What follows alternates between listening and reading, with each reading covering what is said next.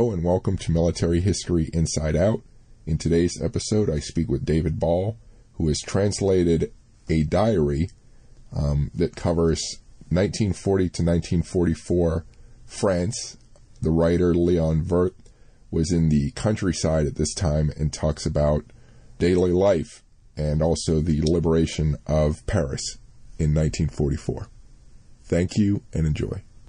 I'm speaking with David Ball, translator and editor of Leon Werth's Deposition 1940 to 1944 A Secret Diary of Life in Vichy, France. Thank you for speaking with me. Glad to be here. Thank you. So, first, tell me, how did you um, get into studying and translating uh, this type of work? When I got out of college, I had the good fortune to get a Fulbright fellowship to France, all expenses paid, study for a year. Uh, I had absolutely no intention of studying. The French I knew, I think I got it because my French professor lied about how little I, French I knew. They claimed I knew French very well, which I didn't. But as soon as I hit France, I fell in love with it for some reason. It's absolutely inexplicable. I don't know why. I could hardly understand the language. I just loved everything about it.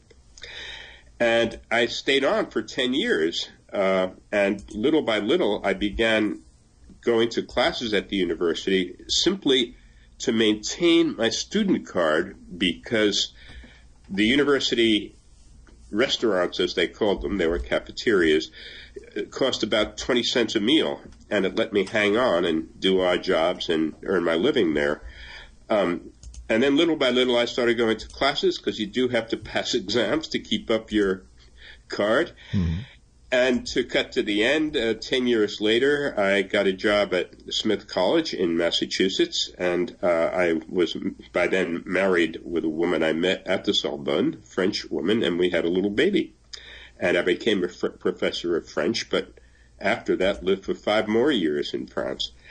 And as I lived there, I was struck by the shame the French felt starting at around 1962 with Ophüls' film, the, Chagrin et la Pitié, The Sorrow and the Pity, mm-hmm. and Robert Paxton's classic book on Vichy France, the shame many French felt, not all, about their collaborationist government during World War II, and I got fascinated by that story. Mm-hmm. When I was teaching French, I also got more interest, more and more interested in literary translation. I translated a great weird French poet named Henri Michaux, for example. Mm-hmm. But my last two books have been First, Diary of the Dark Years by Jean, Jean which is, he was a Paris intellectual, and this is mainly a diary about cultural collaboration and resistance in Paris. And then this long, great diary by a man I call Léon Werth. I'm sorry, it's his French name and you work with him that much. Mm-hmm. I can't say it anyway. Werth. It is worth in English. W-E-R-T-H. Mm-hmm. Uh, and that diary is about daily life in the countryside. And in a moment, I can tell you why he was in the countryside and not in Paris where he normally lived. Mm-hmm. So that's the long story. Okay. All right. So let's talk about the book then. Since you were a translator and editor, how, how did you decide what material to use and what not to use?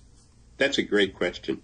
The book is about 750 pages long in, Fran- in French. Mm-hmm. And he was, well, I'll say it now, he was Jewish. And so he was holed up in his non Jewish wife's country house in a little village in eastern France mm-hmm. while she worked in Paris. And he had nothing to do all day. And he was a writer.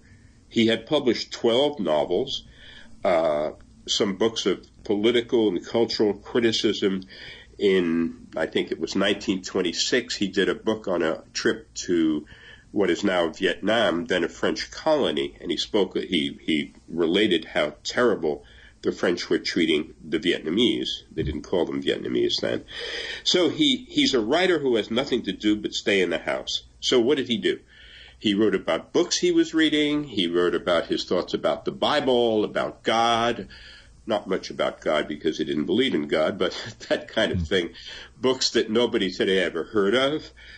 And he noted what the peasants were saying, what people in the village were saying, what the Vichy press was saying, what he could hear on the radio, and that's both English radio and French radio. So it seemed to me that, that those hundreds of pages about books no one has cared, no one knows about today were not worth keeping. Mm-hmm. Whereas his notes about daily life really are. It's an absolutely great diary mm-hmm. about Vichy France. So, how does it compare? So, the other book that you translated, The Dark Years, that cover the yep. same time period, um, I'm not familiar with that one. Can you just mention it and compare it to um, to this one? Sure. Um, Diary of the Dark Years was written by a man who taught. Uh, it's hard to, to describe the equivalent. He taught elite sort of postgraduate high school classes who were preparing for a great exam to get into the most elite, one of the most elite schools in France.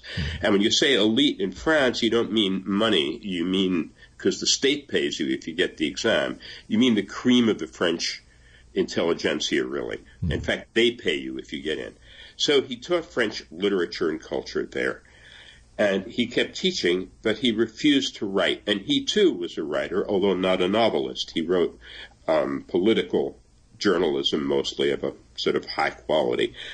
And he poured his cultural feelings into the diary, and he talked about intellectual life in Paris, and he was particularly angry at his fellow writers and political writers who went on blithely publishing under a Nazi controlled press. Mm-hmm. And so he resisted internally and then toward the end of the war got together with other writers in what came to be called the intellectual resistance. So it's a very high, and he writes in a very high literary style, very eloquent. Werth in the countryside is completely different. He writes not slangy French, but very lively um, French. Not, he doesn't try to be eloquent. He's just sharp and tough. Very anarchistic man. Uh, and I be gladly say a little about that in a moment. Mm-hmm. Um, and he's not that much interested. He doesn't even know what's going on in the capital in Paris as far as intellectual life goes. He's curious about the peasants around him, the farmers. I call them peasants because they're so different from American farmers. Mm-hmm. The French word is paysan, like peasant. Mm-hmm. So he's curious about them, about what the village people are thinking, and he sees the restrictions that Vichy is putting on life in all spheres, plus the glaring fact that he's Jewish. Mm-hmm. And if he were picked up, he would be deported, mm-hmm. quite simply. And it was Vichy that began, that is the collaborationist French government, that began the measures against Jews, not the Nazis. Mm-hmm. Interesting. So was he just an observer, or did he ever participate in any resistance more uh, yeah. violent resistance activities? Yeah, that's a, that's another great question. Neither he nor the author of the other the great diary, the one in Paris, Jean Guéhenno, neither he nor Guéhenno were in the resistance as we think of it. That is, they did not smuggle messages to the British. They didn't, you know, walk around hiding with machine guns. Nothing like that. No. Uh, for a number of reasons for Guéhenno, he was simply too well known. They knew exactly what he was doing. Mm-hmm. Uh, it would be a folly to be in a resistance group. Werth is different. He's 62 years old. Mm-hmm. Very few people of that age entered the resistance. Mm-hmm. And even though he notes resistance activities and he clearly has contacts, he just never really gets into it. And sometimes he thinks, gee, I should have done this, but he didn't. Mm-hmm. So yes, he's an observer, but a very committed observer, and a sarcastic and ironic observer. So he would have known, he would have had an idea of who was in the resistance or who was participating, wouldn't he, or was it? Uh, around him, yes, he didn't know that much about the national resistance. Mm-hmm. No, he couldn't have. Right. Uh, sure. But as far as um, I, I guess it, was he in the village under an assumed identity, or was he? No, no, that's very interesting. Um, nobody turned him in. Uh, they must have known he was Jewish. No, everyone knew him in the village because it was his wife's summer home. They'd been going there for years. Mm-hmm. Okay. Um, I'd like to tell you how he came to write the diary. Really, how he came to be in that village, if, if that interests you. Oh, definitely. Okay. So he and his wife, in June of 1940, when what the French call the debacle, the debacle is beginning, that is, the rapid loss, the fall of France, right? Germany in, in six weeks just destroys the French army. Mm-hmm. And no one at the time understood why. And today we know there's one answer, and the answer is military incompetence mm-hmm. by the French. But people are panicked. There are about there are millions of people on the roads fleeing toward the south before the German advance. Uh, it's not totally rational. I mean, it's not that the Germans had already committed atrocities. They did not really, certainly not at the beginning. Uh, but that's what happened. It, the French call it the Exodus down south. He and his wife set out for their country home for what should take at the time with a car that's slower than ours and no highways, really just roads, it should have taken four to five hours. It took them 33 days to get down to the, and he wrote a book about it, a sh- short book, which was published in English called 33 Days. Okay? When he, as soon as he could write and he had taken notes along the way, and he describes that exodus. He gets into the country house and as I say, nothing to do. And then he starts writing every day in his diary. And that's the diary I edited, cut a lot, and translated. The title is his Deposition. Mm-hmm. Because, in other words, what he's saying is absolutely true. Mm-hmm. So I would, um, I'll make a point and, and I'll make it just so maybe you can comment on how he might have approached it, Leon um, which is, I would say, the French army was not so much destroyed as it was corralled. That uh, certain main uh, command structures were, were destroyed, but a huge amount of the French army still was, was viable, and yet they couldn't work. You know, like two million men, I've I've been told, uh, French soldiers were, were just basically captured. That's um, right. And I, I would think that feeds into the national embarrassment, so to speak. Um, did Leon in the diary? Was there any commentary on that, or? Uh, not much, but um, if you look at the beginning of Jean Guéhenno's diary, it's a very eloquent beginning, mm-hmm. uh, railing against Pétain's surrender and talking of exactly what you said of the humiliation of this defeat and this surrender, and and especially signing the armistice. Like you could have said, okay, come in. We have to lay down our arms because our army is being cut to pieces. By the way, it wasn't nothing. In six weeks, the French lost between 50,000 and 90,000 men. Mm-hmm. At least twice that number of wounded. That's not nothing. Mm-hmm. But the reason is, as you described, the army was cut to pieces because the generals had no idea what to do once the Germans had crashed through the Ardennes in, in, the north of France through the Belgian through the Belgian border. Mm-hmm. They weren't supposed to do that. mm-hmm. Right. It was supposed to be impenetrable. I'm sure you know that, right? Everyone knows they built the Maginot Line, mm-hmm. and Germans simply went around it. They didn't try to cross the Maginot Line, which was state of the art equipment. Why bother? So when that happened, they had no alternate plan. They didn't know what to do. So the the army was disorganized and cut into pieces. Now, did Werth understand that? Not really. No one understood that. But he, like Guéhenno, was ashamed, and what he does is simply record not an eloquent response, shame on you, and de Gaulle at least has pride. Nothing like that at the beginning. He simply records the total confusion in the village around him. Everyone has an explanation, which is totally wrong.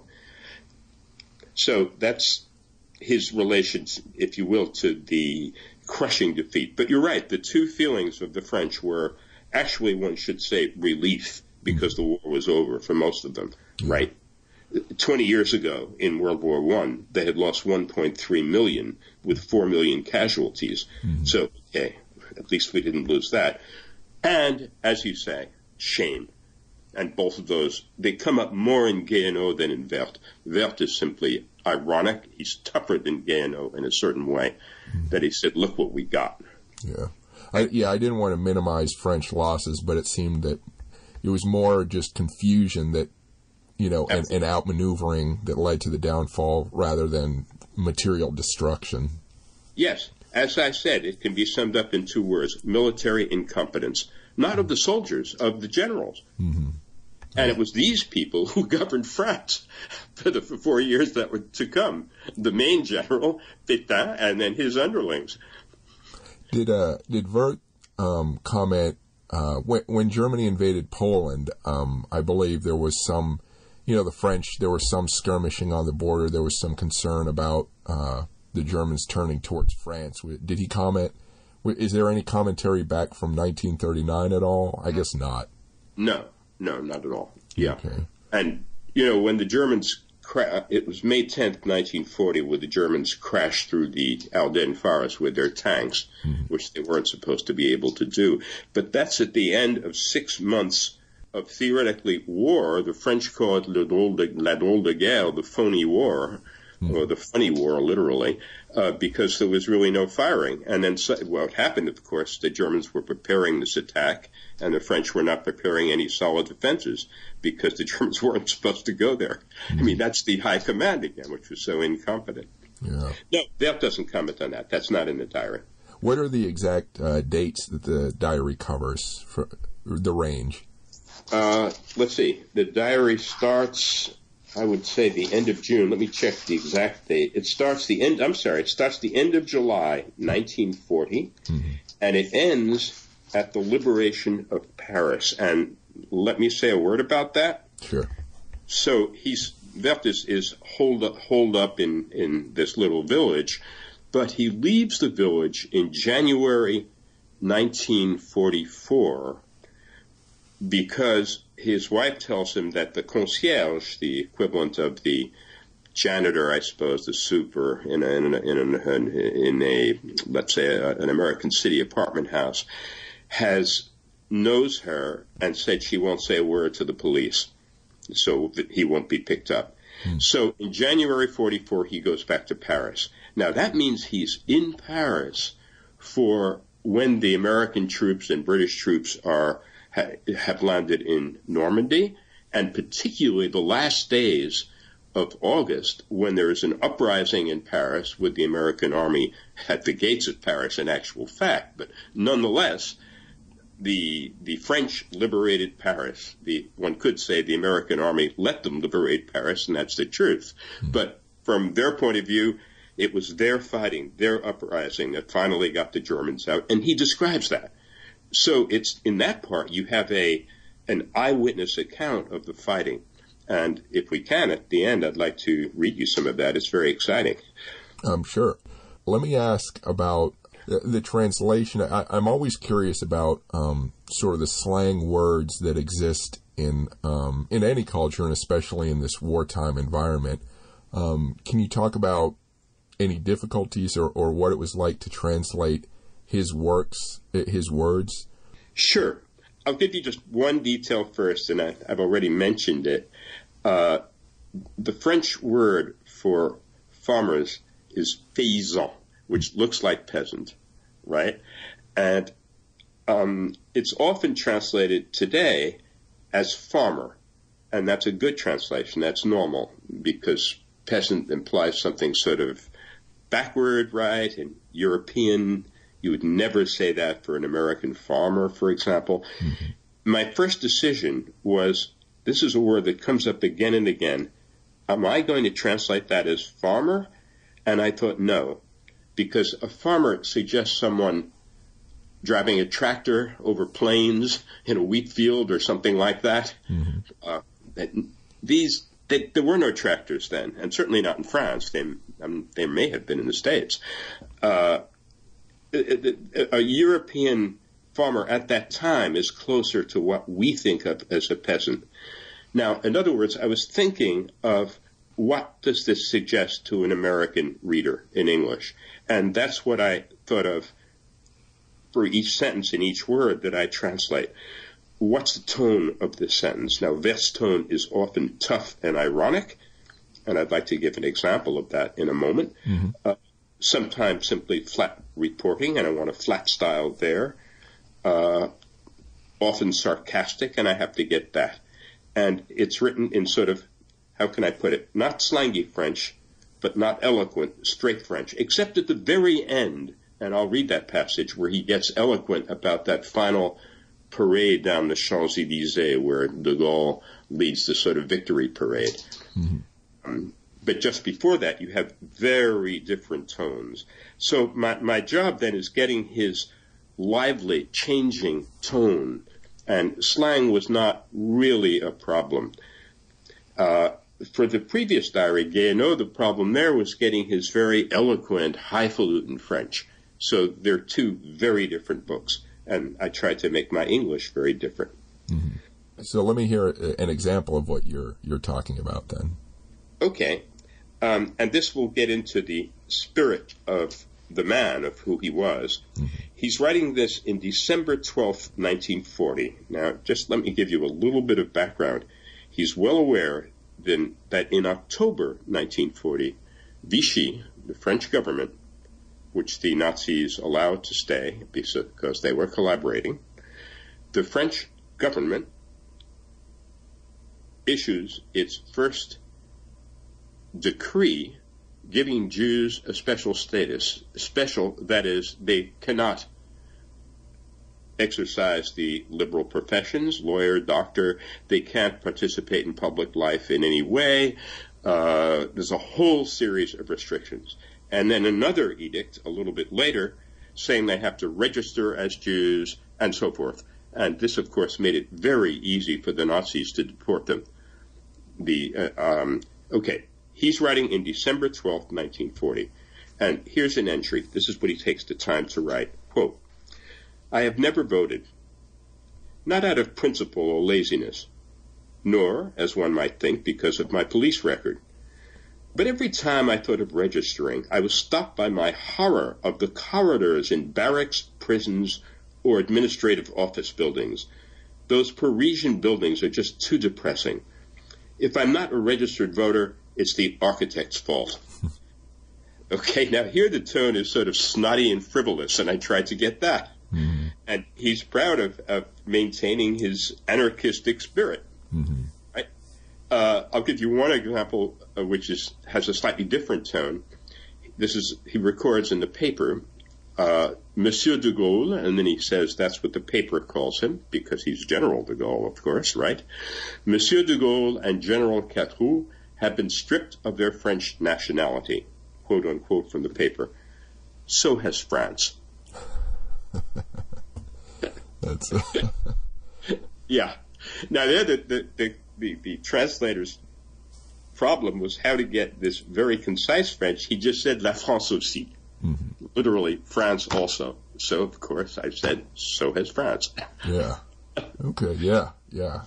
I see what you're saying. So, so yeah. tell me then, um, what kind of man was he? Okay. Well, yes, he had an anarchistic spirit. Uh, he was way on the left, but he he had sympathy for the communists, but he would never join the Communist Party or any other party. Uh, as I say, he when he visited French Indochina, of he wrote a book which made the French think that he had contacts with dangerous revolutions. So he was investigated by the equivalent of the FBI, and he did not have contacts. He just described what he saw.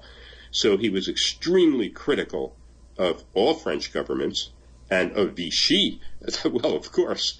Hmm. You know, and his point was that when they signed the armistice, this was supposed to be, you think of an armistice as being a temporary arrangement, he says, but we didn't realize that we're, we were settling into fascism.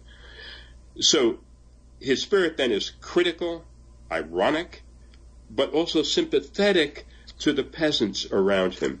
He, he notes the way they react and, and what they say.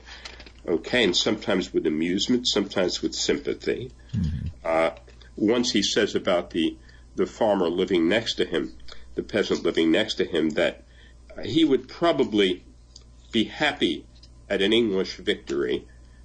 Uh, this is early in the war, at an English victory if it were handed him on a silver platter. And in fact, he would probably give them a cow, uh, his least productive cow. so, you know, uh, people generally think, you know, someone, a peasant, is very conservative and would, uh, you know, perhaps be supportive of these, you know, very sort of xenophobic conservative values that were being pushed by the the collaborationist government, but it sounds like, at least in this village, it was more of a live and let live. You know, the people weren't worried about his being Jewish and, and his sympathies. It seems. So I'm trying to get a sense of, of that, that uh, dichotomy. Yeah. Um, what he records is that they just ignore Vichy. It has what they say is what Vichy says is meaningless to them. They don't like the restrictions on how much they have to produce. They don't like the fact that what they produce is going to the Germans. Mm-hmm. And they have no trust whatsoever in the government, period. uh, and little by little, they're for de Gaulle and against Pétain, although Pétain, you often have the attitude, and this is an attitude that persisted for a long time, well, it's not his fault. He's doing the best he can. But the government, no, no, that's terrible. Mm-hmm. Laval, who is Pétain's prime minister, uh, is hated universally. And in fact, he was one of the first to be executed at the liberation. Hmm. So it seems that despite the, the, the huge gap in educational levels, um, Werth was very connected with the people, you know, like the sympathies were almost the same in a sense yeah, he is connected with the people around him. He knows them.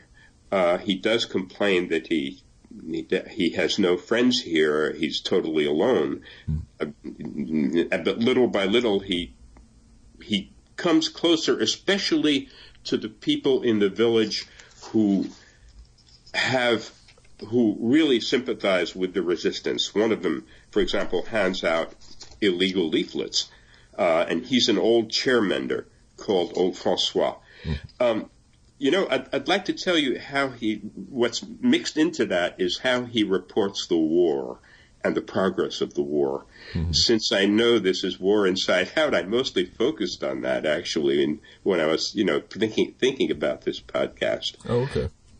Okay. Um, so let me go here, let me go into how he, how reports the war. First of all, he's aware that, like people today, he's hearing about terrible events at a distance. This war is not taking place on French soil until the Normandy landing, right? And the Normandy landing fills him with tremendous hope. Mm-hmm. That's quite different. So here's what he says. He's listening to the radio. The radio. Bombs, shells, bullets, cannons, planes, machine guns. Stalingrad, the Indian Ocean, the Pacific, Libya, Indian plains over Italy and Germany. Real men, not men made of communiques and news flashes, kill and die. I'm alone in my room in front of the big radio. The war comes to me stripped down, cleaned up. The wounded don't bleed. The corpses are statistical. I'm above the war like an old, tired god. But sometimes when there's the Allied landing in North Africa, that's the 8th of November 1942, listen to this note.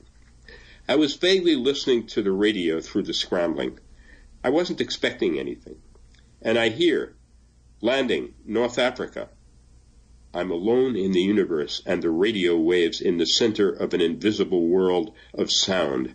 I have a childish image of this landing. I see boats, planes, oranges, Arabs, and blue-eyed Americans. the French used to think that all Americans had blue eyes. Yeah. this sudden piece of news comes to me like an inspiration to the prophets. No one was there, and yet someone spoke. I feel like calling, shouting, communicating the news to the people. I'm sure I'm the only one who knows it. The Americans began landing during the night, but at this very moment, a quarter past nine in the morning, they're still landing. The English news bulletin isn't talking in the past tense, but in the present. They're landing at this very minute. It's not a cold piece of news. It's not a piece of news that has slept even for one night, even for a few hours. The Americans are landing in Algeria, so to speak, right before my eyes. Nothing has been so rich in hope since the debacle. Quote, he's quoting, a historic turning point, a new phase.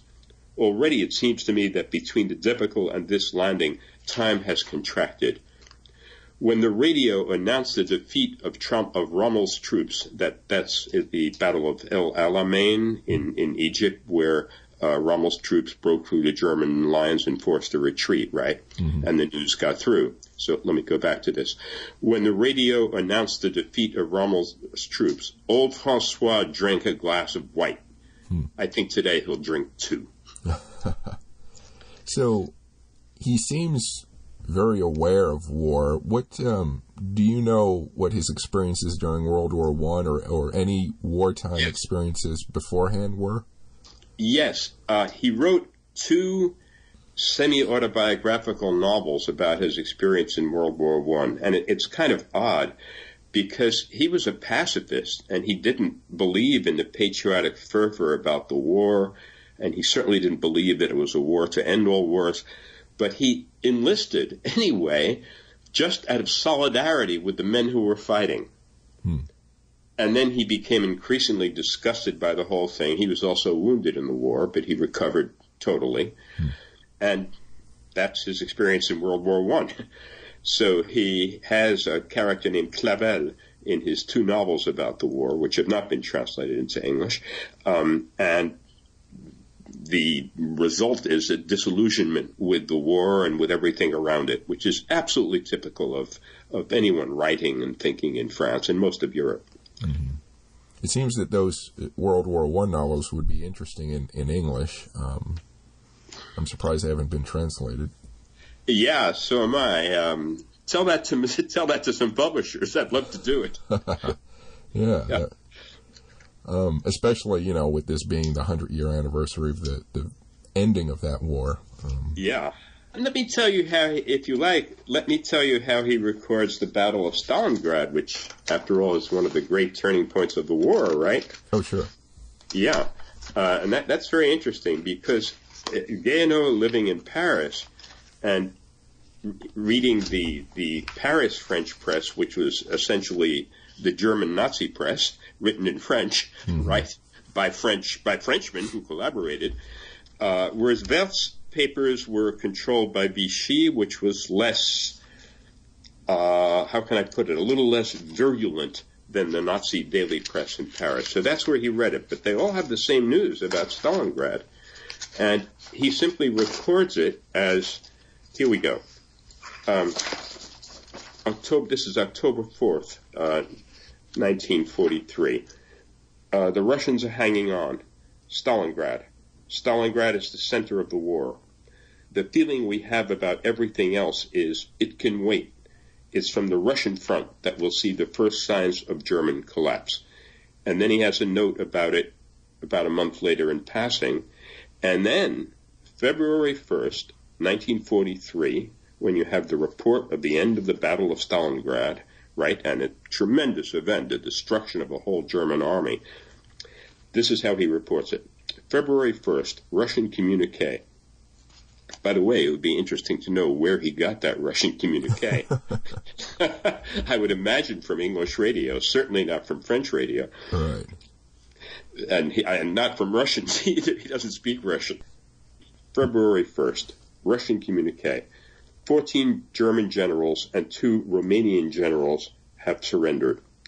French radio news, quote, the Bolsheviks have not succeeded at all, unquote.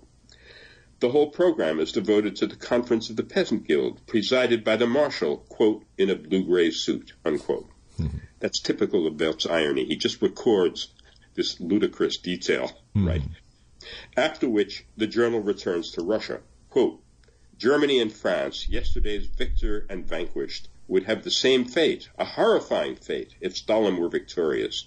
That victory would result in Muscovite hordes flooding into our country. Unquote. These juxtaposed tidbits make a rather pretty montage, don't they? And that's the end of his entry. It's very surprising. This is a tremendous event in the war, and he knows that. Right? He's just a very ironic man. The next note, which is the same day, but it's a different note, just says a few trains have been derailed. And that's an increasing theme in the diary. That is, every time a, the resistance has sabotaged a German troop train that has derailed it, he notes it. And there are lots of them. So you do feel the rise of resistance in the countryside. Mm-hmm. What do you think? Who was he writing the diary for and for what purpose? Oh, that's such a great question, and it's so hard to answer. Um, because that's a question that you can ask of, of any diary, and it's a very good question. Uh, the, the, first answer that comes to mind, and I think it's true of any diary really, is he's writing to keep a record of what happened. And that goes into the name of the diary. He called it Deposition. Here's my deposition of these years of Vichy, of the war. So that, that's one reason. The other reason, frankly, I think is just to keep busy in his in his house. He's a writer. He can't publish during the war, that's for sure. He has no desire to imagine a new novel. Mm-hmm. So he records life around him, and which means what he can get from the radio, from the papers, from the station cafe where people are talking, from the people in the town, uh, and especially also war news, which filters through, as you can see. Mm-hmm. Uh, Oh, here we have February 4th, which is the very end of the Battle of Stalingrad. And here he's quoting the Vichy paper. Quote, the Battle of Stalingrad is over. The Sixth Army succumbed to the numerical superiority of the enemy and the difficulties of the situation. Unquote. Special German communique. Without having gone to the War College, we can easily understand that if an army was vanquished, it's because it was beaten and if it was beaten, it's because the enemy was stronger, braver, or more skillful. That is, mastered, quote, the difficulties of the situation, unquote, better. Hmm. So even there, his, his entry is just ironic about the way it's being reported in the Vichy press. Mm-hmm. The next day, he quotes de Gaulle, and he says, De Gaulle spoke this morning about Stalingrad, quote, the fury of despair, he said, a fine literary expression, is not a reality in war, unquote. The time will come for a national uprising. France will have the last word. Why isn't the legend of de Gaulle flourishing? Does de Gaulle lack something that is common to Napoleon and General Boulanger?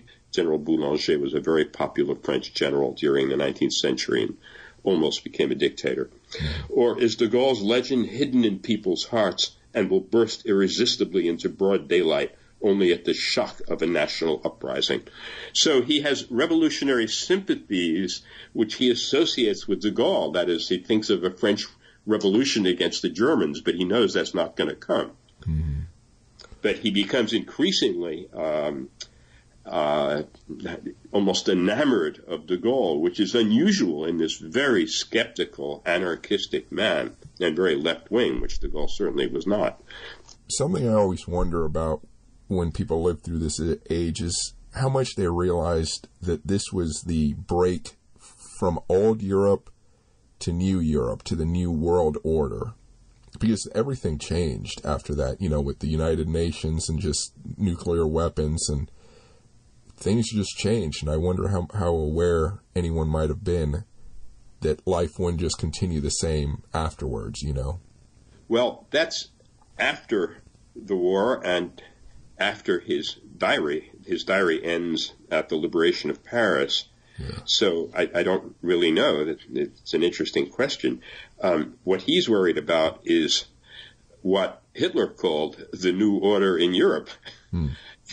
And the French collaborators uh, loved that expression. Uh, there's and Pétain too used it all the time. I'm trying to build, or rather to impose, he said. I'm now quoting Pétain from from memory. I am now trying to build, or rather impose, a new order in France. That new order would have been a Nazi order. Mm-hmm.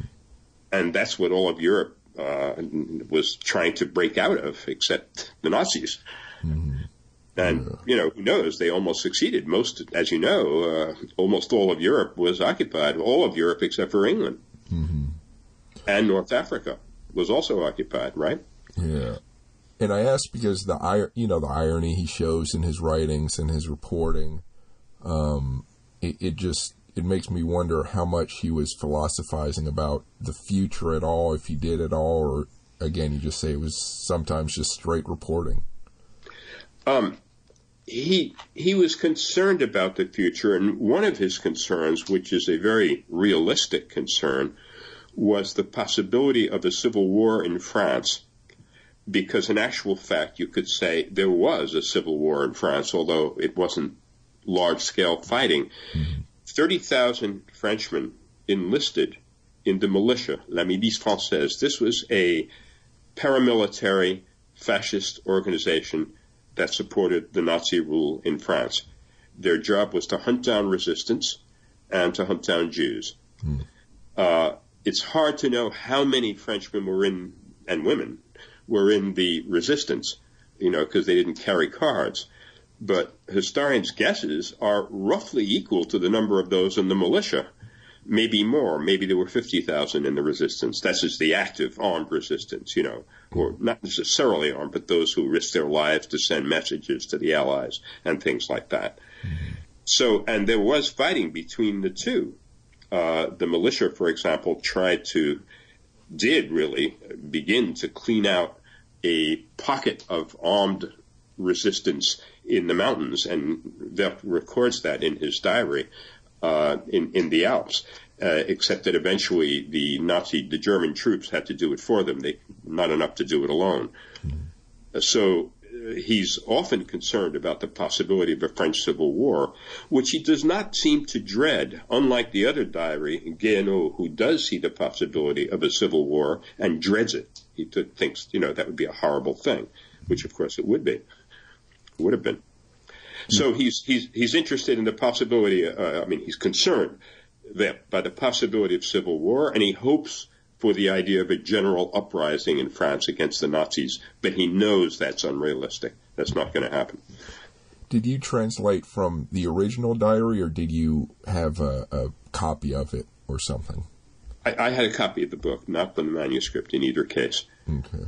What, but what, the, the the book itself was very carefully um, gone over, vetted, one might say, by the main French historian of the period, who's uh, Jean-Pierre Azéma, uh, and he has notes to the book, which in the book, which I either use, I translate them and give his initials, or I cut them because they were just too long and wouldn't interest us really, um, or I made my own when there were things that a, an American reader wouldn't know uh, but that he assumed a French reader would.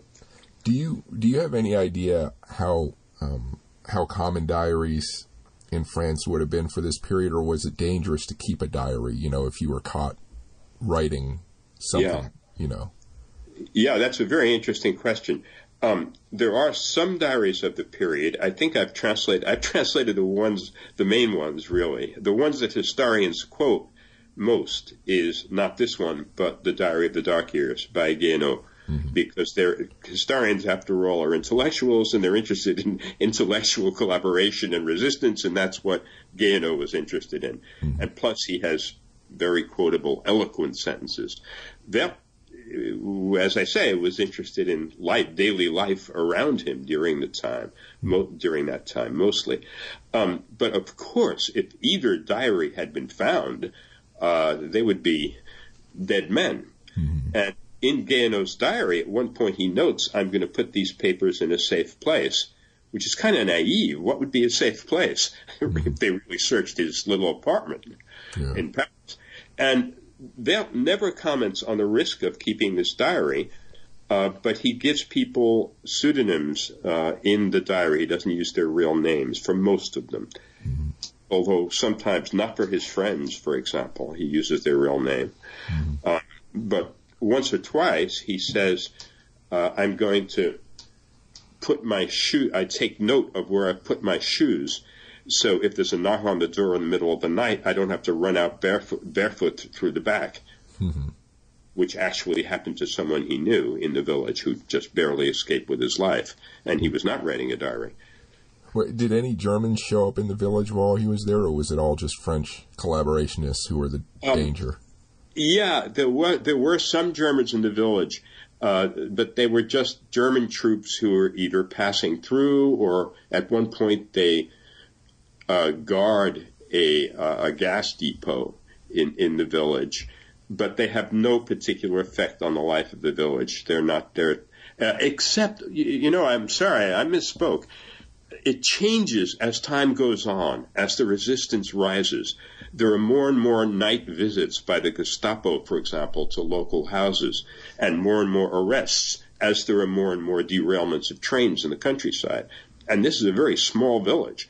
So that yes, people are arrested in the middle of the night, but these are not not from German troops. From the Gestapo, yes. What part of this work uh, was most enjoyable for you? Uh, the end. because uh, because uh, during the war, one of the themes of this diary and the other diary too, of any diary, would be how is this going to end? Because it's not entirely clear until I would say until Stalingrad who is going to win this war, and the prospect of you know for living forever under German rule, under Nazi rule, is not something that somebody would relish. Yeah. So as the story unfolds and as he reports the war, which after the Normandy landing, it's lovely to see the steady advance to witness firsthand almost the steady advance of the Allied troops toward Paris, eastward. And um, and finally the end of Paris, the end, which is the uprising, and that, that really is very exciting. Um, what did you discover as you were doing this? What what did you discover that was most surprising?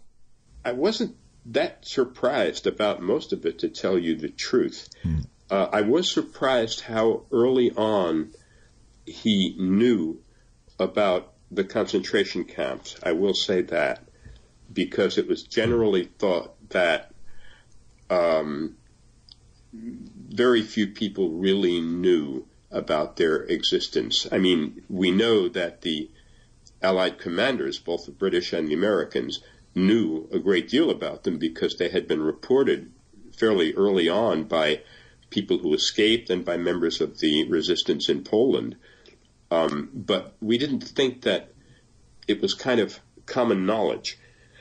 Uh, so that was one thing. Uh, it, for example, November 4th, 1943, uh, he reports, he says this Auschwitz. One would like to respond with equal tortures by a death whose torture lasts forever. And then we're crushed, anesthetized by that ultimate horror, by that infinite sadism. Never will the punishment equal the crime. Animals suffer less and die more quickly. Nothing can prevent this from having existed. Yeah. And then he changes the topic. And but later on he he does not how can I put it? He doesn't Neither Guéhenno nor Werth hate the Germans as such. Really not. Hmm. As the Germans, no. Those who commit crimes, yes. Was there, um, you mentioned um, having some difficulty trying to figure out how you wanted to pre- translate the word peasants. Were there any other uh, words or turn uh, phrases that, that perhaps you struggled with to get the right uh, translation for? Uh, oh yes, all the time. Hmm. But um, I don't even remember which because there are so many of them. Um, you're constantly asking yourself as you translate, hmm. how am I going to phrase this? And then when you reread, you see with horror that you're too close to the French because we wouldn't really say this or that in English. Hmm. But I can't give you any one example. Hey, I'm staring at something. My eye just falls on something, and I'll give you one example. Sure. I see. I see this. Uh, in the station cafe. This is this is his words And on November 10th, 1943. This is right after the the entry about Auschwitz. November 10th, in the station cafe, a liter of vin ordinaire costs 50 francs. A liter of white, 65 francs. A pound of butter, 100 francs. A liter of, of marc, marc, I would say, 200 to 500 francs. These are all translation problems. Am I going to say a quart or a liter? Mm-hmm. I decided on a leader because we're in a different country.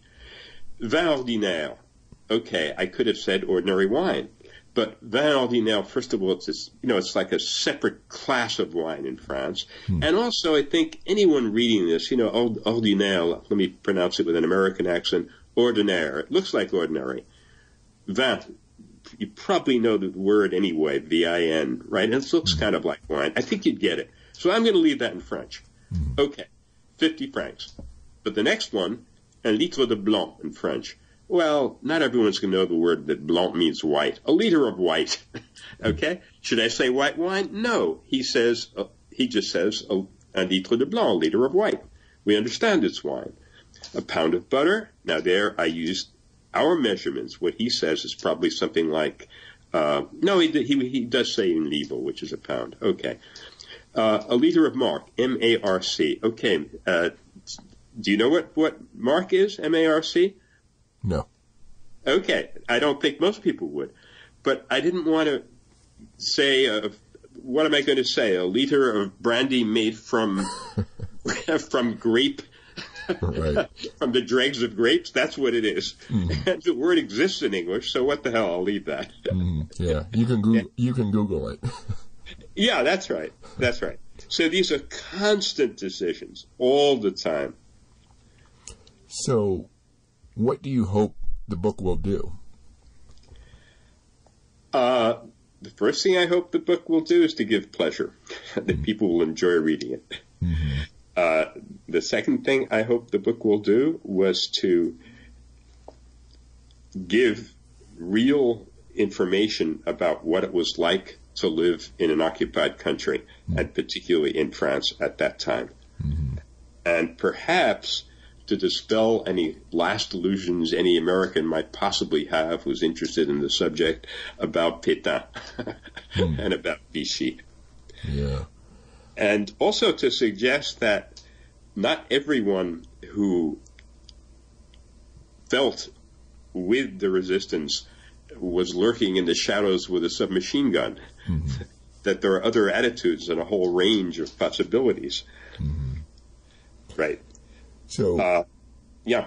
Uh, I, I'm just staring at something after the passage I read, and I'd love to read it. Could I? Oh, sure. Okay. This is an example of his reporting. November, first irony and then just flat reporting, okay? November 11th. On the station platform, two officers, these are German officers, of course, right? On the station platform, two officers walk up and down, taking down the design of something or other. They seem swollen with lard, and they're not acting important for us. They don't see us. There's nobody on the platform. They're acting important for themselves. Hmm. They smack down the heels of their boots and raise their heads. There are contradictions between those larded faces and that muscular tension, but that's the way it is. Then there's a space. Notice, the French nationals, Hubert Arnault, student in Toulouse. Two, Edmond Guyot, student in Toulouse. Three, Jacques Sauvrin, student in Lardenne. Four, André Vasseur, office worker in Toulouse were sentenced to death October 24, 1943, by a German military court for participating in terrorist acts. The condemned men had gathered in a mountain camp to fight German troops, where they were given weapons and military training. They fired to prevent the capture of the camp and caused losses among the German troops. The verdict was carried out by firing squad November 9th. Der Kommandant des Heeresgebietes Südfrankreich now there, my decision was to leave that in German because he leaves it in German, mm. and the French, you know, you get you get what's going on. And then Werth just comments, those days, those nights between the sentence and the execution. Mm. That's all. Yeah. So without him saying, my heart bleeds for these young men who are resistance and who are killed, yeah. he just has that. Yeah.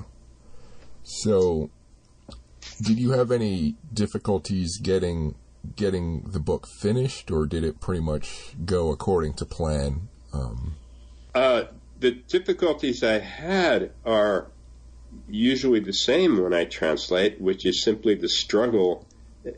And I must say, it's an enjoyable struggle. It's like part of it is like solving a puzzle, and part of it is, is an aesthetic pleasure. Mm-hmm. The, the struggle to get things right, to get things that sound the way they should, the way I think they should, mm-hmm. in English, and that still gives the sense of what the, the what the what the book is saying in French and, and, and how it feels to a French reader. Mm-hmm. So that's the kind of struggle I always have. And I would not say it was any slower to translate than anything else. On the contrary, I think it was a little faster because I really kind of felt the book, if you see what I mean. Mm-hmm. As if I were writing in English somehow. interesting. Yeah. And and I apologize if you already mentioned this early on, but um, w- were you approached to do this, or did you pitch um, pitch it to the publisher to do this translation? Uh, you did not ask me that before. Uh, it's a good practical question. Uh, I pitched Guéhenno to the publisher, the Oxford University Press, and they accepted it the way academic presses usually do when they accept that is that they send it to three outside readers. Mm-hmm. The readers make their reports, and then the editorial board decides if they want to publish it. It's quite slow, but that's the way it works. And by the way, for an academic press, pays you anywhere from zero to a maximum of three thousand dollars for for doing this work. So mm. you don't do it for the pay, right? Mm-hmm. That's why most, you know, because they assume that their authors are professors with a day job, mm-hmm. publishing is is part of what they do. Yeah. So. Uh, I'm a retired professor with a retirement, luckily, mm-hmm. so I've earned a, a fat three thousand dollars for two years of work mm-hmm. on this book. But yes, I, I, pitched the earlier diary to them, and then it was much easier to pitch this. Mm-hmm. Uh, I don't even remember if they used outside readers because they know me now, and um, the only problem was okay, we're doing a second diary. Uh, well, yeah, we will because this one's very different, mm-hmm. and that was my pitch. Interesting. So, what's your next uh, project? Uh, uh, I'm totally different. I've just finished uh, a manuscript by a wild surrealist poet who was expelled from surrealism by excommunicated by the surrealists, mm-hmm. and he died at the age of 36 by out of from tetanus because he had inject he'd used a dirty needle to inject himself with morphine. Mm. Uh, his name is Roger Gilbert Lecomte. I guess Roger Gilbert Lecomte, if you're speaking in a, in an American accent, right? Mm. Uh, and so that's utterly different. These are wild poems, and the problems translation are different. But I also annotated that, but at the back, so it doesn't look academic and with no footnotes. so if there's something you don't understand, you can simply turn to the back and see the line. That might be difficult, um, and you know the, the illusion there. So it's a very, very different book, and it's for a totally different publisher. Hmm. Okay, and now that we're um, coming to the end, you you wanted to uh, read the the passages on the liberation of Paris. Yes, of Paris. Uh, a little background on this, maybe before I start. He's going to mention. I'll say it in English. The uh, the FFI, and then I'm going to pronounce in French, the FFI. That's the Force Française de l'Intérieur, literally the French forces of the interior. That was a recently created military force led by de Gaulle with American money, and they had American tanks, uh, to part of the Free French, if you will. That is the French who were against the Nazi occupation, were willing to fight, and were outside of France, not the inner resistance, okay? Mm-hmm. But they kind of joined with the resistance. So when he says the FFI, that's what you'll understand. Okay. Okay. Um, August 15th. There's a rumor that the police are on strike. No details. Message from the military governor of Paris, General von Choltitz, about order, food, and security in the capital. A strange text, written in uncertain French and full of involuntary admissions. General von, von Choltitz admits fearing terrorist, that is, resistance, activity. Uh, a little pause there. Uh, the words that the Germans always used for the resistance and the words that Vichy used for the, what we call resistance and what they called resistance was terrorist. Mm. I think it's interesting to reflect on. It is. One man's terrorist is another's resistor. Yeah. Right? Okay. So, a few clear images remain after reading. An invincible Germany whose means of transportation are hardly bothered by sabotage. A kindly Germany that provides Paris with electricity. Hmm. An implacable Germany determined to exercise, quote, the severest, even the most brutal repression, unquote. But also a hesitant Germany which, quote, pleads with us. August 15th again. Big headline in the Petit Parisien, which was a daily published under Nazi control in French, written by French people. Intense fighting in the Chartres-Dreux region. Now, Chartres is about 90 miles from Paris, right? So you, you get what that means if there's fighting there. Mm-hmm. Intense fighting in the Chartres-Dreux region. But the people say, they're in Chartres, they're in Dreux. A poster on the facade of the police station at Saint-Sulpice, that's in Werth's neighborhood, the 6th arrondissement, the Latin Quarter. The police are with the population of Paris. They've joined three centers of resistance, three centers of resistance. 97% of the policemen are no longer obeying the Gestapo agent, the French Gestapo agent. Hard to explain why the Germans haven't destroyed these posters. Rumor, the Americans will be in Paris tonight. Another rumor, postal strike. At 5 o'clock, the poster is still on the wall of the police station. August 19th. A few isolated shots in the night fairly near us. Radio at half past midnight. Montgomery now declares the Battle of Normandy has been won. A little later in, in August 19th, the French flag is raised over the Hôtel Dieu and the prefecture of police. Hôtel Dieu is a big hospital in Paris. Mm-hmm. Fighting at the bottom of Boulevard Saint-Michel. The concierge of the building where the Crayers live was wounded in the leg while she was closing the carriage entrance. She was taken to the hospital. August 20th. Shots fired from Boulevard Montparnasse last night and from the Rue de Rennes. Later in that same day. I don't know what the news is on the street, but the street is different from the way it was the other nights. Not excited and tense, but in a state of calm beatitude. Groups gather in front of the doorways, larger than usual, and denser too, as if swollen. The children aren't playing and don't disperse. They're waiting for the great event to appear in the flesh, the visible flight of the Germans, the passage of an American tank. A phonograph is playing the Marseillaise. Now, the Marseillaise was, of course, forbidden during those four years. Flags pop out at the windows, briefly hiding a chest or a face, which disappears instantly into the darkness. Applause spreads and glides along like flowing water between the asphalt and the facades of the buildings. A flag has been raised on the roof of the house where a German anti-aircraft battery used to stand.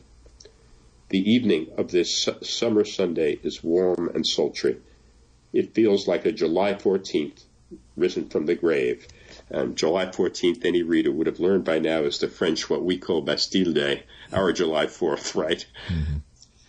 There's a sudden drop in the tension of my form of my long four-year wait. Hmm. Yeah. August, yeah, August 21st, 10 p.m. A sound like a roll of far-off thunder breaking the silence. The whole street says it's them. August 23rd, Two tanks were captured on Place Maubert by the FFI, the FFE. Something's changed. We don't analyze every ring of the doorbell anymore. August 24th. Now he's going to mention Claude. That's Claude, if you will. That's his son. Hmm. Right. Werth is now 66. So his son is a young man. August 24th. Roux and Claude spent five minutes at the house. They immediately went back to Place Saint-Michel to their post in the FFI, in jackets and with blackened hands. Can you guess why they had blackened hands? Hmm. No. Well, no, not at the moment. Okay. It's from building barricades. Ah, okay. And the reason why he just says that with no explanation is that I think French readers would have got that both because they knew barricades went up and because in the revolt of the Paris Commune in 1871, uh, the when they found working people with black with blackened hands, they asked to see their hands, and then they arrested and shot them, or just shot them. So that's a real that's that's heavy with resonance. That little detail of blackened hands, right? Yeah. We're told militiamen and Doriotistes are firing from the rooftops. I told you about the militia. Doriot was another French fascist. Hmm. Are the Americans at the Porte d'Orléans or aren't they? The Porte d'Orléans is the southwest entrance to Paris. Two German armored cars with machine guns mounted on them go down Rue de Rennes toward the Boulevard Saint-Germain. The gunners are looking up at the facades, ready to fire. Tense, nervous faces. A tank is stopped by a barricade in front of the Hotel du Lutetia. It maneuvers, backs up, and fires three cannon shots at the barricade, no doubt, and disappears. The noise of the explosions filled the sound corridor of Rue de Rennes. As soon as the noise stopped, the groups in the doorways, who had gone back inside, reappear. We can see bouquets of faces at the windows again. I don't know how we learned that two tanks of General Leclerc had pulled up in front of the Hôtel de Ville. Okay, now there you need my note, no doubt. General Leclerc was one of the few French generals who joined de Gaulle in London with the Free French, and he was allowed by the Americans, actually, to command the Second Armored Division of French and American tanks. So they set a Leclerc tank, which had, which because it's commanded by Leclerc, uh, and it had a French tricolor flag on it. It was actually an American tank painted over. So, and and they were the first French sort of regular troops to reach Paris, and the first troops to reach Paris, actually. I don't know how we learned that two tanks of General Leclerc had pulled up in front of the Hôtel de Ville. Hôtel de Ville is town hall, the mayor. mayor. Around 8 p.m., D and his wife ring our bell. D takes us to the Hôtel de Ville.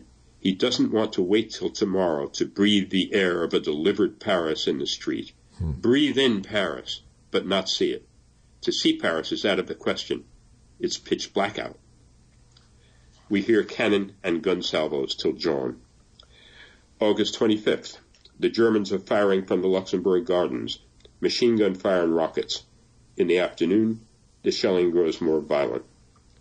Meanwhile, a Leclerc tank emerging from Rue Vavin, that's a street right near the Luxembourg, fires on the blockhouse Rue Guynemer. It destroys it in two shots. Right after the explosions, the windows are filled with faces, and from every window, people are shouting, Bravo! They're clapping as if it were shooting practice or an orchestra performance. Applause bursts out from every corridor of the street. My nose is glued to the window. I see the line of a tracer bullet light up and go out. The tank rolls up Rue d'Assas, stops at the corner of Rue Auguste Comte in front of the Lycée Montaigne, and fires at the sandbags piled up at the corner. A German throws a jerry can of flaming gasoline at it, but it doesn't reach the tank, which has already started moving. Later, we have a procession of tanks. Each tank is covered by a human swarm. German prisoners are standing, squeezed flank to flank, belly to back, all with their hands at the back of the, on the back of their necks. Never will I forget those men with their hands clasped over the napes of their necks, those caryatids in faded uniforms in the posture of the damned. One of them, hardly an adolescent, has let his head fall on his neighbor's chest. He's sleeping. Victory. Tears come to my eyes, tears of deliverance. But I am moved by the obvious, striking contradiction. These terrible, heavy machines did the work of justice. Through them, the nuances of human thought have been preserved. No, I'm not afraid of these big ideas, and I don't care if they make some people smile. These tanks going by are giving me my share of victory, my share of freedom. My joy is too strong. It's a joy I can't keep inside me for long without spoiling it. But the humiliation of those men makes me suffer. It is necessary. It is even justice itself. I approve of it. It satisfies me. It soothes me. And I cannot rejoice at it. August 26th. A few houses down the street. They just cropped the hair off the heads of four women. The hair is in the gutter. They're going to parade these four women through the streets. A procession accompanies them with a kind of dignity without shouting. But an old man spits in their faces and wants to hit them. He is prevented from doing it. Uh, you understand that they were suspected of sleeping with the Germans during the occupation. Right. They, yeah, they called it horizontal collaboration. The shaved heads of those women, and one of them had a clayey face with dilated eyes I once saw them on a condemned man they were taking to the guillotine. De Gaulle is walking down the Champs Elysees. A lapping of shouts and murmurs rises from the waiting crowd. When he appears, all those cries and all those murmurs fuse into one wave, hardly oscillating at all, and filling the whole space between earth and heaven. Hmm. And that's the end of the diary. And the last entry that I read on August 26th. That's the whole entry. So he first has two paragraphs on the shaved heads of the women, which he, without saying it, you get that this is not something he likes to see and approves of. Mm-hmm. And the next paragraph is that the one poetic passage in the whole diary where he lets himself go, and he's actually lyrical about that victory procession down, down the Champs Elysees. Mm-hmm. And I think that you know, complexity, that contradiction, is typical of the diary. Just as his, just as he, his tears come to his eyes at the victory, but he feels terrible about those German prisoners. He knows this is what should be done. It's just. Yeah. It, it, that's the way it should be. But they're humiliated. This is terrible. it's it's a very complex. He's a very complex man, and I think you get that in the diary. In in that sense, it also gives you the emotional satisfaction of reading a good novel, if you see what I mean. Yeah. It takes you into human beings. Mm-hmm. Yeah. So, where can people find the book then, and uh, your your other works? Do you have a web page, social media, anything like that? I don't have a web page. No, you can. But if you Google D- deposition, uh, Leon Werth, you'll get it. If you go to Oxford University Press, you'll get it. Um, you'll get both both of them. Uh, if you Google Diary of the Dark Years, you'll get it. And you also get a great review in the New York Times, which I was very glad to get mm. uh, for Diary of the Dark Years. Uh, so that's what you can do. Okay. I can't help you any more than that. No, that sounds good. Um, all right. Well, that's that's all I have. Do you have any final thoughts or words? No, I think I just delivered them to you when I commented on that last passage, okay. except I want to thank you for this opportunity to talk about a book I love. Yeah, well, thank you. Thank you very much. This podcast has been presented by War Scholar. Thank you for listening. Don't forget to visit warscholar.org or militaryhistorypodcast.com for more great interviews and military history information. Your visits help support this podcast. One of the best ways to provide feedback for this podcast is to rate me on iTunes. Please give me a good rating if you liked it, or feel free to give me a bad rating if you didn't. I'll use that feedback to make this a better podcast. You can also follow me on Instagram under Cris Alvarez War Scholar. That's Cris without an H, C R I S. On Facebook under War Scholar on YouTube under War Scholar 1945, and on Twitter under War Scholar. Thank you, and I hope you return to this podcast for more great military history.